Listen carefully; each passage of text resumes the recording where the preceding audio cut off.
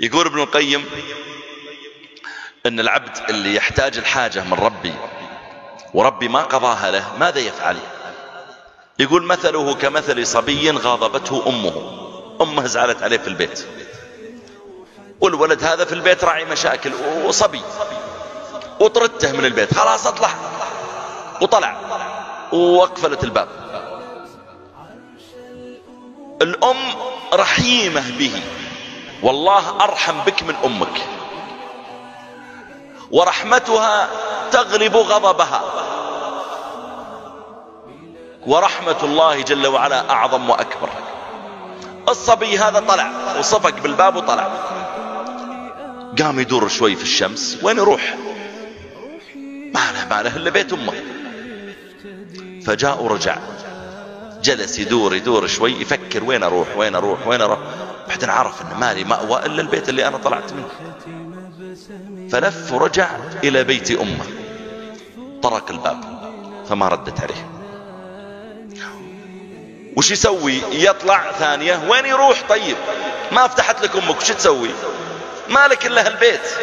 مالك إلا هذا الباب تطرقه بس. الأبواب الثانية ما أنت بلاقي منها إلا مشاكل. ورجع للبيت ويطرق الباب. ما فتحت له. ويطرق مرة ثانية ما فتحت له. فيبدأ يسترحمها. يما تكفين افتحي يما خلاص توبة. يما خلاص ما أرجع للي كنت أسويه. يما خلاص والله ما عاد أسوي مشاكل. يما تكفين. يما الله يخليك. يما الأم وهي تسمع هالدعاء تسمع النداءات كأنها سكاكين في قلبها. لكنها تبغى تأدبه وتقول له ماني فاتحة ثم بمقدار ما الولد يتضرع ويبكي ويرجو الأم تنكسر في الأخير. ولا لا؟ وتفتح الباب. وإذا فتحت أول شيء تسويه إيش؟ تضمه. الله أرحم بك من أمك. إذا طرقت بابه وقفت عند الباب ولم تلجأ لغيره وصدقت معه.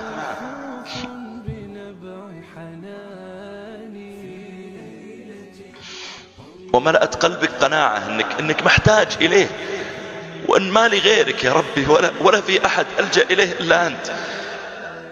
إذا اقتنعت أنت بهذا وأصريت ووقفت عند بابه والله تقضى حاجتك مهما كبرت. والله تقضى حاجتك مهما كبرت. يقول بعض السلف لو خيرني الله يوم القيامة إنه يحاسبني. أو تحاسبني أمي؟ قلت لا يا ربي أنت حاسبني لأنك أرحم بي من أمي. اخلق بذي الصبر أن يحظى بحاجته ومدمن الطرق للأبواب أن يلجأ.